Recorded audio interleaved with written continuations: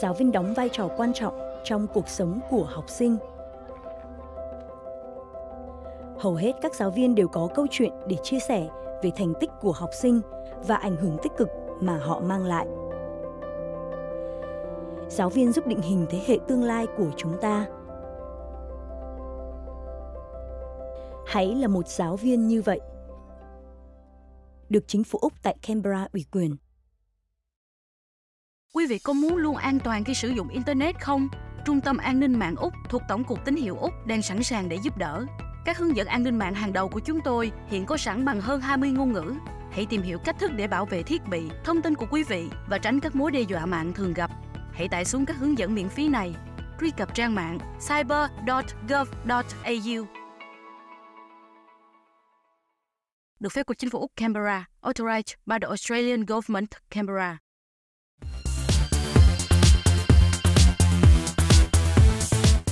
Kim Hoàng và Nguyên Khang. Rất hân hạnh được trở lại với tất cả quý khán giả đang theo dõi chương trình Điểm báo thế giới của Việt TV Australia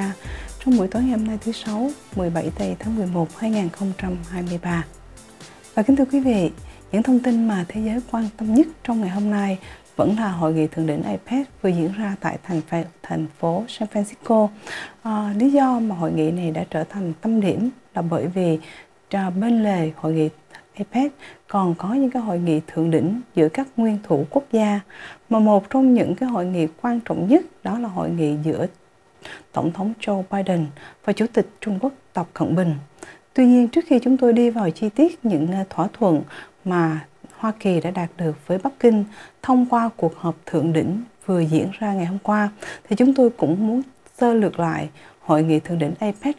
năm nay 2023. Đây là một trong những à, hội nghị được cho là quan trọng nhất trên toàn thế giới là bởi vì APEC quy tụ 21 nền kinh tế chiếm đến 38% dân số toàn cầu và 47% thương mại thế giới, trong khi à, các à, các thành viên này cũng chiếm đến 61% tổng sản lượng nội địa trên toàn thế giới. Với những chỉ số mà Kim Hoàng vừa mới nêu, thì chúng ta có thể hiểu được APEC là một cơ chế hợp tác đa phương ở cao cấp nhất hiện nay. Và vì vậy, tất cả những cái tuyên bố, những cái thỏa thuận được đưa ra qua các hội nghị thượng đỉnh APEC luôn luôn được quan tâm. Đặc biệt là trong cái bối cảnh bất ổn hiện nay, thì APEC cũng được coi là một sân khấu để mà thực hiện những cái sứ mạng thúc đẩy một cái tương lai thương mại và đầu tư bền vững hơn giữa các thành viên. Thì kể từ năm 1989 thì khu vực châu Á Thái Bình Dương trở nên là một cái khu vực có cái nền kinh tế năng động nhất thế giới và cũng trong lúc này là sự xuất hiện của các quốc gia à, mới nổi đặc biệt là Trung Quốc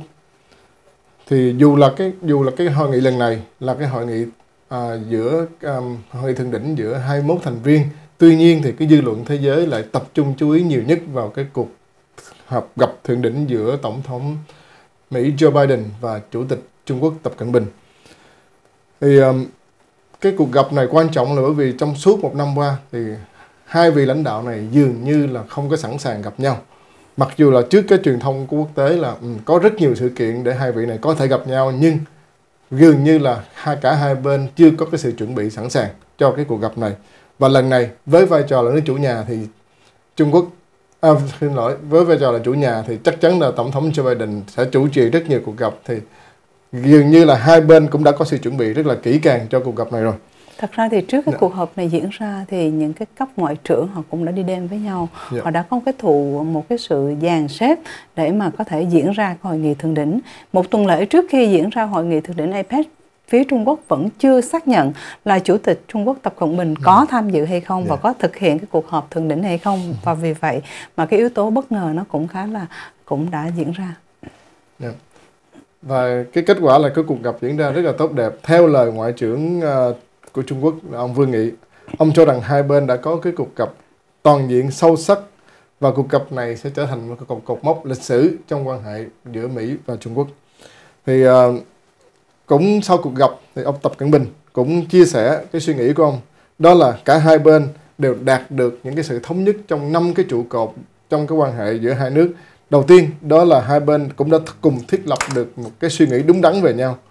Cái thứ hai, đó là cùng thúc đẩy hợp tác cùng có lợi. Và cái thứ ba, đó là cùng quản lý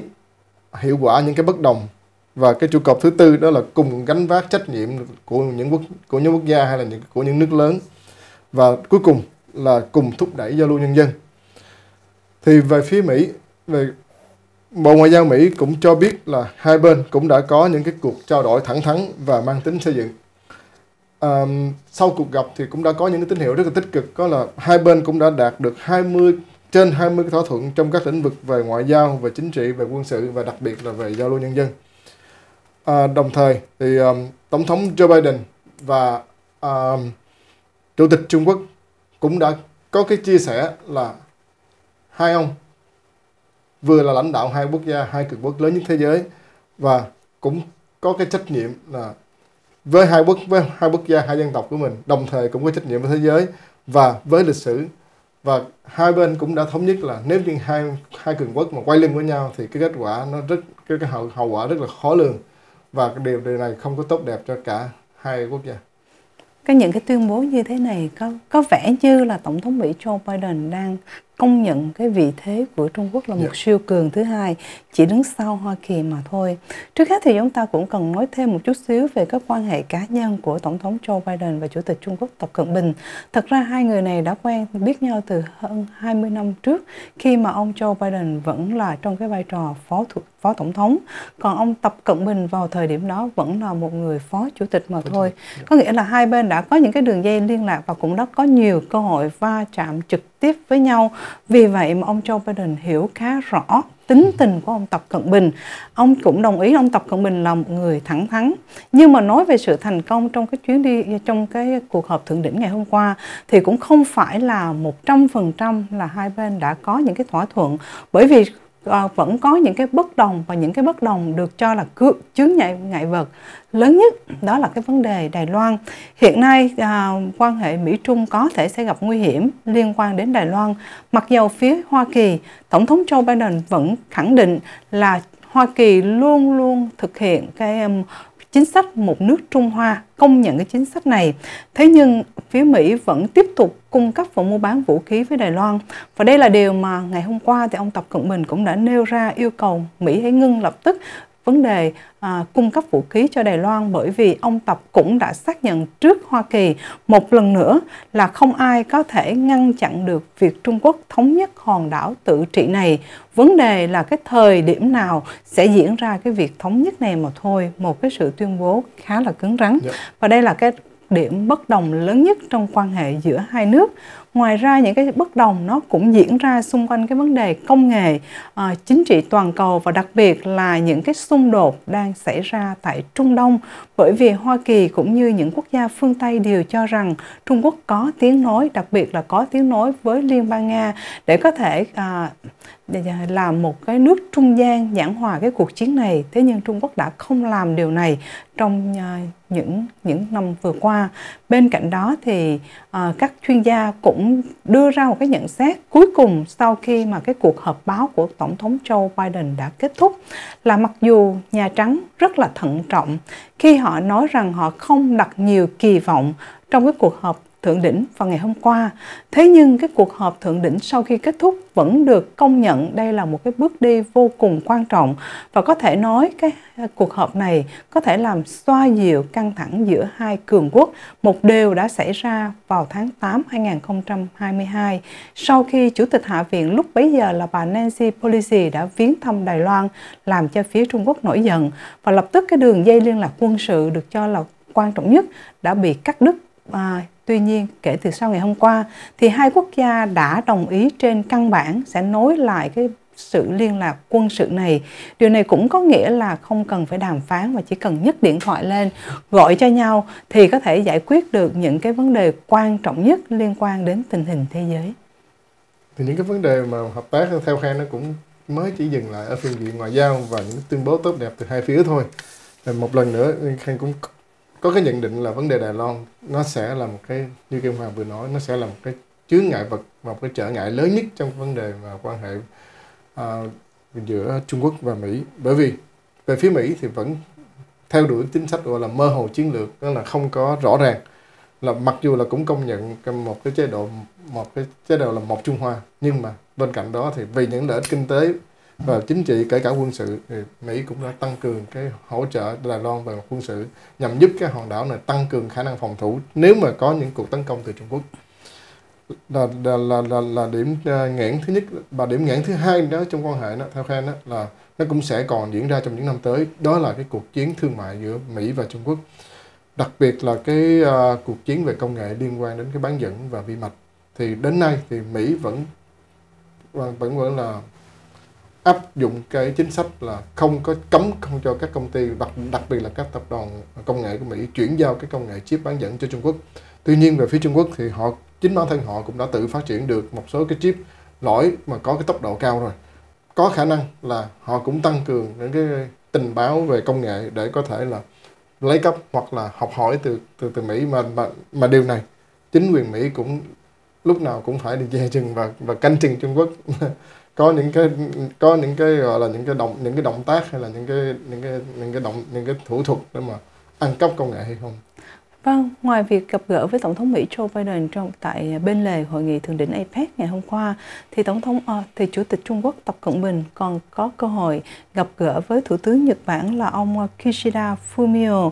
Và uh, sau đó thì ông uh, Fumio cũng sẽ gặp gỡ À, Tổng thống Hoa Kỳ Joe Biden. Ông cũng sẽ tham quan Viện học Stanford và cùng với Tổng thống của Hàn Quốc. Và khi mà chúng ta nói về quan hệ giữa Nhật Bản và Hàn Quốc, thì lần gặp gỡ tại San Francisco lần này là lần gặp gỡ thứ bảy trong năm nay. Trước đó vào ngày 5 tháng 10 vừa qua, thì Hàn Quốc và Nhật Bản cũng đã một tổ chức một cuộc đàm phán ở cấp thứ trưởng và đây được cho là sự thành công rất lớn dưới thời Thủ tướng ờ, Fumio Shikada, là bởi vì quan hệ giữa Nhật Bản và Hàn Quốc vốn rất căng thẳng trong thời gian vừa qua. Nhưng sau khi có tân thủ tướng tại Nhật, thì các quan hệ nó đã trở nên thân thiết hơn và cái cuộc họp vào ngày 5 tháng 10 cũng là cái cuộc họp ờ, đối thoại chiến lược đầu tiên đã được nối lại sau 9 năm bị gián đoạn. Và đó là những cái cuộc gặp gỡ bên lề hội nghị thượng đỉnh APEC. Và tất nhiên là họ tham dự hội nghị thượng đỉnh APEC lần này còn có uh, Chủ tịch nước Việt Nam là ông Võ Văn Thưởng. Mà báo chí Việt Nam trong những ngày vừa qua cũng đã nêu lên hàng loạt những cái hoạt động của ông Thưởng tại thành phố San Francisco. Thì dư luận đặc biệt quan tâm đến hoạt động của Chủ tịch Võ Văn Thưởng tại uh, Mỹ trong cái diễn đàn à, hợp tác kinh tế châu Á Thái Bình Dương APEC lần này. Bởi vì thứ nhất, ông Thưởng cũng mới vừa nhậm chức chủ tịch Việt Nam và đây là cái chuyến công du Mỹ đầu tiên trên cương vị chủ tịch nước của ông. À, và trong cái à, bên lề cái hội nghị thì ông cũng đã có những cái cuộc gặp rất là quan trọng với các cái vị chủ tịch các cái tập đoàn công nghệ lớn. Đầu tiên đó là ông đã có cuộc gặp với chủ tịch Apple là Tim Cook thì trong cái cuộc gặp á, thì ông Tim Cook cũng khẳng định là Việt Nam là một trong những quốc gia mà nằm trong cái chiến lược kinh doanh đặc biệt của Apple. Thì hiện nay thì Apple cũng đã có cái cơ sở sản xuất tại Việt Nam để sản xuất các cái dòng MacBook, iPad, iPad và Apple Watch. Điều này nó cũng giúp cho phát triển công nghệ, phát triển cái nền kinh tế à, của Việt Nam nói nói chung và giải quyết công an việc làm nói riêng, đặc biệt là đối với cái lực lượng lao động có trình độ cao thì um, về về phía ông Tim Cook cũng đã khuyến nghị là Việt Nam cũng cần nên cải thiện cái hệ thống các cái tiêu chuẩn ứng dụng về công nghệ uh, 5G tên tiếng Việt tên tiếng Việt là 5 5G À, Hình như là chủ tịch ông ông Võ Văn Thưởng đã chụp lấy cái cơ hội này để mà yêu cầu Apple là yeah. nếu mà muốn Việt Nam phát triển thì Apple phải cùng đồng hành phải cùng không? Cùng đồng hành, cùng đầu tư phát triển cái công nghệ 5G. Thì cái cái công nghệ 5G này thì cũng có có một số cái quốc gia cũng đã có những cái phản đối với Trung Quốc là bởi vì cái tập đoàn Huawei của Trung Quốc à, trong cái vấn đề mà phát triển 5G thì họ cũng đã có những cái động thái nghe lén mà không có tạo những cái sự tin tưởng của một số quốc gia. Thì đối với Việt Nam thì lần này chủ tịch nước Võ Văn Thưởng là chính thức kêu gọi Apple tham gia đầu tư phát triển cái công nghệ 5G tại Việt Nam.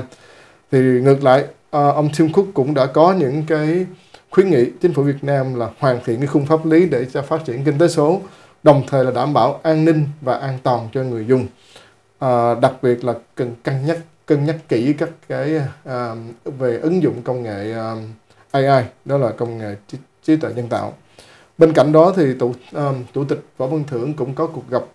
với chủ tịch tập đoàn tập đoàn Boeing đó là ông Brandon Nelson. Ông Brendan Nelson thì đây là một nhân vật rất là quen thuộc trong chính trường Úc bởi vì ông đã từng làm bộ trưởng bộ quốc phòng dưới thời của cựu thủ tướng John Howard và sau khi thủ tướng John Howard thất cử vào tay của thủ tướng Kevin Rudd vào thời điểm đó thì ông Brendan Nelson này cũng đã lãnh đạo à, à, đối lập lãnh đạo có đảng nghĩa đối là lập trở thành lãnh Dạ. tụ à, liên đảng ở thế đối lập Dạ. Tuy nhiên sau khi ờ, thất bại và, và trong nội bộ ờ, lãnh đạo đảng vào tay vào vào cái um,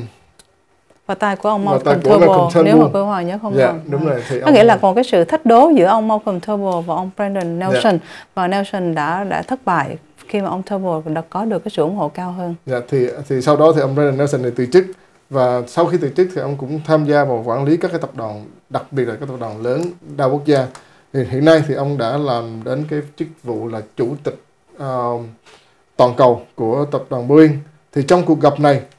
thì Boeing cũng đã cam kết là sẽ ủng hộ và giúp Việt Nam phát triển cái uh, ờ, hệ sinh thái hàng không. Hệ sinh thái hàng không ở đây là bao gồm các hoạt động thứ nhất là thứ nhất là bán máy bay này, thứ hai nữa là cho thuê máy bay, thứ ba nữa là các hoạt động xây dựng về sân bay và các cái công tác hậu cần như là sửa chữa và các cái trạm sửa máy bay. Đồng thời là đào tạo nhân lực đầu tiên là đào tạo phi công và sau đó là đào tạo nhân lực liên quan đến an toàn bay và quản lý hệ thống bay ra Việt Nam thì đây là cái thị trường dự kiến là phát triển rất là năng động của Việt Nam trong thập kỷ sắp tới, bởi vì cái nhu cầu đi lại bằng đường hàng không của Việt Nam vẫn còn rất là lớn. Nhìn chung một cách tổng quát thì cái chuyến đi lần này đến San Francisco của ông Võ Văn Thượng khá là thành công Dạ. khi mà ông đã liên tục có những cuộc làm việc khá là quan trọng Dạ. với hy vọng là sau khi Hoa Kỳ và Việt Nam nâng cấp quan hệ lên mức cao nhất rồi thì những cái hoạt động kinh doanh, những cái đối tác thương mại nó cũng sẽ tiếp diễn nhau và đem tới nhiều công việc làm hơn nữa cho người dân tại Việt Nam trong thời gian sắp tới. Và cũng liên quan đến Việt Nam, kính thưa quý vị, trong những ngày vừa qua thì tình trạng mưa lũ tại khu vực miền Trung vẫn tiếp tục. Mà thông tin mới nhất ngày hôm nay thì những cơn mưa kể từ ngày 13 tới tháng 11 cho đến thời điểm này tại tỉnh Quảng Trị, Thừa Thiên Huế, Quảng Nam, Đà Nẵng đã gây ra những cái thiệt hại rất lớn và đặc biệt hơn nữa là đã khiến cho 5 người tử vong trong khi 19.000 căn nhà đã hoàn toàn bị ngập trong nước lũ. Cho đến thời điểm này, thành phố Huế là địa phương được cho là bị nặng nề nhất khi mà 85% những cái tuyến đường của 36 phường tại thành phố này đều đã bị ngập lụt và việc những cái con đường bị ngập lụt nó sẽ xảy ra tình trạng hư hao à, giao thông rất là khó khăn. Trong khi đó tại Hội An thì nước lũ vẫn chưa rút. Cho tới ngày hôm nay người dân vẫn tiếp tục di chuyển uh, ờ, di chuyển bằng những cái con thuyền tại những con đường chính của phố cổ Hội An. Đó là những thông tin liên quan đến Việt Nam trong phần điểm báo thế giới tối ngày hôm nay. Ngoài ra thì còn có một cái thông tin tại Vương quốc Anh khi mà những ngày vừa qua thì chúng tôi cũng đã loan báo là Thủ tướng Anh ông đã làm đã đưa ra một cái quyết định lịch sử khi ông bổ nhiệm cựu Thủ tướng Cam, David Cameron trở về uh, um, uh, trở về với nội các trong cái vai trò là ngoại trưởng của Vương quốc Anh. À, đây được cho là một cái chiến dịch vô cùng thông minh và không biết là cái nước cờ này của ông là ông sẽ tính tới cho cái cuộc bầu cử năm tới hay không? thì tôi nghĩ là nếu như cái liên minh được thì à, tổng thì thủ tướng à, hiện tại đó là à, Rishi Sunak thì cũng sẽ có một liên minh rất là đáng tin cậy và có uy tín bởi vì trong thời gian tại chức trước đây thì ông David Cameron cũng đã rất là rất là một trong những thủ tướng rất là được lòng dân chúng và có cái chỉ số tín nhiệm rất là cao. Thì trở lại sau khi ngay sau khi được bổ nhiệm làm vào bộ trưởng ngoại giao vào ngày 13 tháng 11 thì ngoại trưởng Anh à, hiện nay là David Cameron cũng đã bay sang Ukraine gần như là ngay lập tức. Để thứ nhất là thăm uh, tổng thống uh, Ukraine Zelensky và thứ hai nữa là cũng để tăng cường và củng cố cũng như là khẳng định cái sự ủng hộ của Anh đối với Ukraine trong cái cuộc chiến chống lại cái sự xâm lược của Nga. Thì trong cái cuộc gặp này thì một lần nữa thì ông ngoại trưởng David Cameron cũng thay mặt chính phủ Anh là có cái cam kết là sẽ ủng hộ tiếp tục cho Ukraine về mặt phương diện về quân sự, về ngoại giao và kể cả về chính trị đảm bảo là à, sẽ đồng hành với Ukraine à, để mà hỗ trợ Ukraine chống lại cái cuộc xâm lược này cho đến khi nào mà Ukraine chiến thắng và lấy lại những cái phần lãnh thổ đã mất về tay của Liên bang Nga. Thật ra cái cuộc viếng thăm của Ngoại trưởng Vương quốc Anh tới Ukraine lần này nó mang giá trị tinh thần nhiều hơn là bởi vì kể từ ngày 7 tây tháng 10 vừa qua thế giới hầu như là đã không còn nhắc nhở nhiều đến cuộc chiến tại Ukraine khi mà tất cả các thông tin đều quan tâm nhiều hơn đến những gì xảy ra tại khu vực Trung Đông, đặc biệt là tại giải Gaza. Và vì vậy mà cuộc viếng thăm của Ngoại trưởng Anh đối với ông Zelensky là một điều rất là khích lệ. Ít ra thì ông cũng biết là Vương quốc Anh đang quan tâm đến cuộc chiến tại quốc gia này chứ. Dạ. hoàn toàn không bị bỏ rơi. Trong khi uh, những cái quốc gia khác thì họ đã cảm thấy khá là mệt mỏi, đặc biệt là với lời kêu gọi từ Tổng thống Zelensky trong vấn đề tài trợ vũ khí. À, các quốc gia hầu như đang dậm chân tại chỗ trong cái vấn đề này. Và đây cũng là một cái điểm yếu của Ukraine trong cuộc chiến hiện nay. Và một quốc gia mà mệt mỏi nhất trong cái, cái ủng hộ Ukraine đó là Ba Lan. Bởi vì gần đây thì động thái của các cái uh, uh, nghiệp đoàn